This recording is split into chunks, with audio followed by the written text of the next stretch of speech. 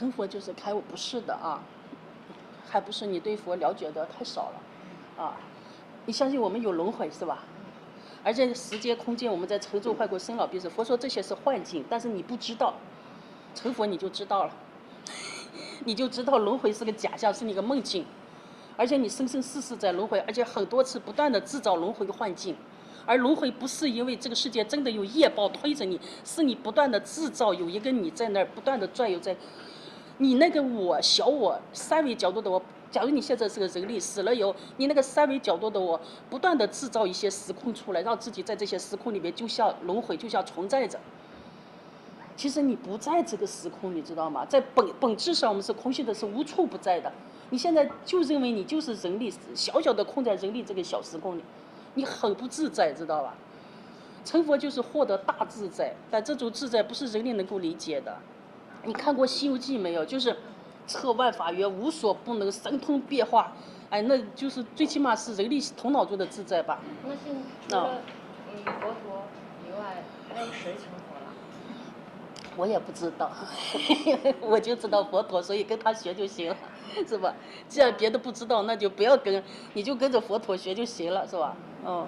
那就是一直有这个困惑，比如说修空性、修执念，那一刻执念可以，然后修空性，那一刻执空性也可以，有很多种原因可以导致自己的，就是是盖在空性的。嗯。就像您说的，就是可能头脑是发懵的，嗯，那种的，或者说。那你那时候是三维角度，三维角度发懵。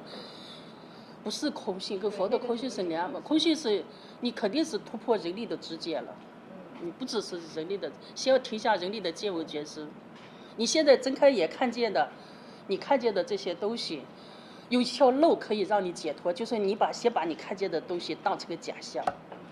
但是这个是不是假象，先不要去探讨啊，不要说是探讨它到底真的假的，咱不要跟佛顶牛啊。佛说你先看这，这是一条方法，这是个方法。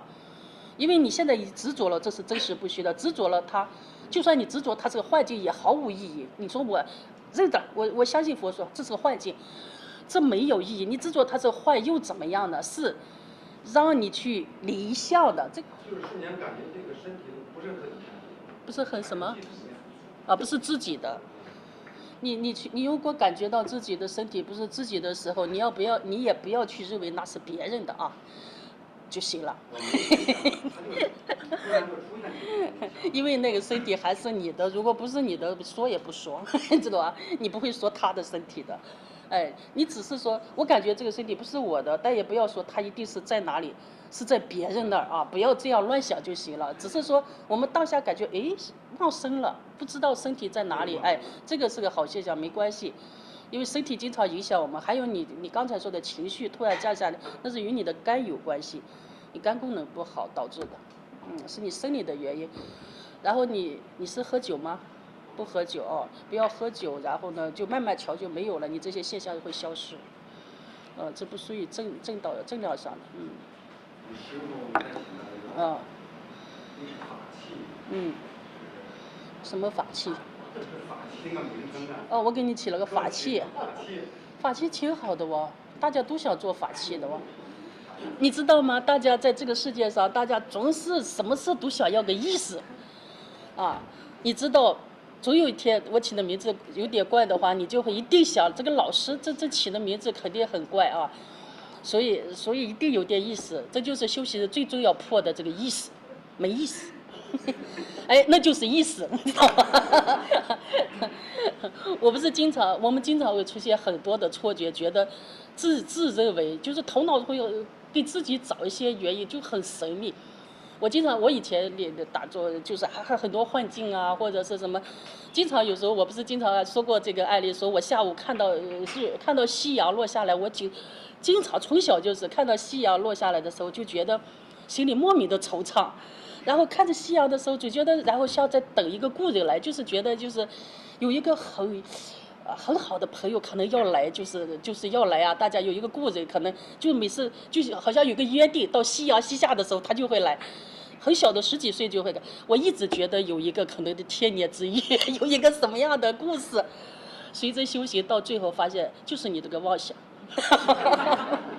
人总是把那个情绪啊，有一个觉得有一个梦境，总有一个梦境，它真的是个乱想。随着你的修行，这个这个境界消失了，而且这个境界跟了我很久，还真我追了生生世世也没找到它是什么原因，就是就是个妄想，就是你你就是天生你就是看见夕阳就是惆怅。你觉得有故人来，或者是你觉得没有回到源头，或者是也许那个故人就是自己了，谁知道呢？是吧？也许自己是自己的本源了，是吧？觉得自己迷失了呗，哦。所以我们主要要个意思，我也经经常以前要个意思，但是后来我什么意思也不要了，我觉得这个意思就明了了，很多意思就明了了，嗯，每一个名是假名，所以众生永远在考虑万法从哪来的，经常问佛这个问题。所以你看，所有的所有的宗教，所有的很多的宗派都在探讨宇宙从哪来的，包括科学也在探讨宇宙是不是大爆炸产生的。这是人类的终极问题：人从哪来的？第一个人是从猴子变的，还是从宇宙大爆炸来的？是吧？科学也在探讨，那很多宗教都在探讨这个问题。因为谁要说清楚这个问题，那就说明他就是教主。因为你要说听你是哪来的，那不是你的你的上司吗？他知道你从哪来的，这个问题很重要的吗？有的说是你有人捏了你，有的说是你是什么呃什么凡间的一个梦啊，或者是怎么说各种宗教各种说法啊，是不是？有的说宇宙大爆炸，科学是说佛佛讲缘起法，说如果有人力的缘起，那就形成人力；有有鸡的缘起形成鸡，有蛋的缘起形成蛋，有女人的缘起形成女，诸缘具足产生了法。就说这个杯子有陶土啊、设计师啊、高温啊、各种各种工厂的烧高温烧制啊，各种原因，这叫缘嘛。各种缘具足，这个杯子产生了。然后你看到的杯子还要有光线，然后你的眼睛还要不盲，然后中间没有障碍物挡住，各种缘嘛，你就看见这个杯子呈现在你面前了。这叫缘起。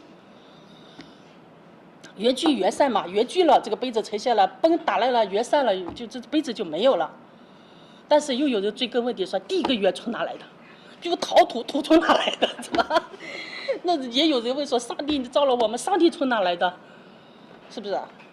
宇宙怎么会爆炸呢？等等啊，各种原因是吧？佛就说，我不说第一因，没有第一个原因，没有第一个缘，知道吧？但是没有第一个缘，怎么？但是是佛，众生不一啊！你你是教主，你怎么能不知道第一个缘呢？你这说不清楚，我就不跟你学啊，是吧？佛说缘起毕竟空，后来说，因为万法本无生。你现在在梦境里认为，这就像刚才那位师兄，你在梦境里认为你在登喜马拉雅山，你说那个真实不真实？你说，然后佛告诉你你在床上睡觉呢，你信吗？你不信。现在你坐在这个世界上，把你看到的山山水水认为真实不虚，跟你在梦境里有啥区别？你觉得你坐在这，周围就是很多朋友，很多人坐在这，这众生嘛。坐在山水里边，你觉得这真实不虚啊？这怎么可能是毕竟空呢？然后你问这个梦怎么来的，对吧？第一个缘从哪来的？怎么形成的？既然是个梦，就没有原因。所以讲这些，只是为了你跟着佛学习这些东西，你成不了道的。按《金刚经》来成道，看观一切如梦幻泡影，离相，离了相，你就是一切，你就你就回到如来的境界，离相，先离相才是一切法，你才是一切。你才能了解什么叫一花一世界啊，一叶一如来这种境界，空性无处无处不在啊这种事情。但是现在你不能离相叫什么？你你那些相很少呢，就三维那些相嘛，不就男相女相？不是佛说就四个相：我相、人相、众生相、寿者相，先离这些嘛，是吧？你要想停下我相、人相，先停下人力的认知，人力的知见，不是你把全世界抛弃了啊。人类的直接是人相，有一个实我是我相，知道吧？然后众生相不是说有一些众生你坐在这儿，哇，见闻觉知，哇，他是有病的，他是垢的，他是净的，他是美的，他是丑的，这叫众生相啊。众生一个起心动念你都知道了，嗯，你一撅屁股我就知道你拉几个粪的，这种直接都叫众生相，你一定会迷失在里边。我告诉你，不要那么聪明啊，你你错了，在人道可以。反正到这样可以继续造梦，但你要解脱到这种聪明就会误了你啊！你是用人力的直接再去看问题的，错了啊！这不是解脱道，这不是成佛的路啊！